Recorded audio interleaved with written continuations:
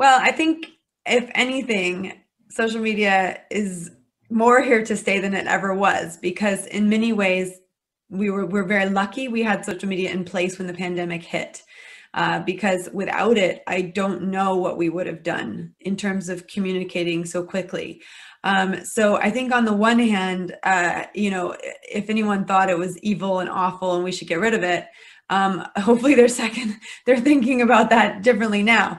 Uh, it's not perfect you know it's one i mean social media companies are some of the biggest companies in the world so there's definitely some moral obligations that those companies have and some ethical obligations that they have and you know we have shows like um, documentaries like the the social network and things like that where we can or the social dilemma that's the one that's just recently come out on netflix. But you've got the movie the social network and you've got the the documentary the social dilemma.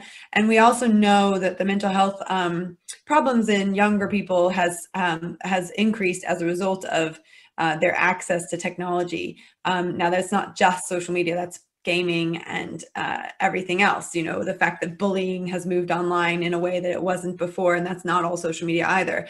But i think you know you have a choice as to whether you look at things in always a negative light or in a positive light. I tend to prefer to look at them in a positive light. Um, and i know that uh, you know while mark zuckerberg's not perfect he's probably not you know the devil either. So you know it's one of those things where you have to kind of say um, you know, do I support a piece of technology that I think makes the world a better place for, in my view, thousands of women that I interact with on a regular basis? Yes, I do.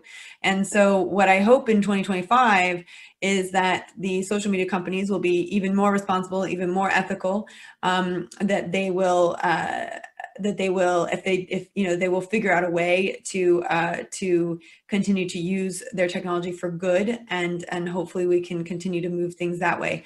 I think what you know we just don't know how long it's going to take. We don't know how we don't know what the results of the pandemic are going to be. We don't know if we're ever going to be able to be back in the same room with someone giving them a hug you know i mean are our kids even going to remember what a hug is you know?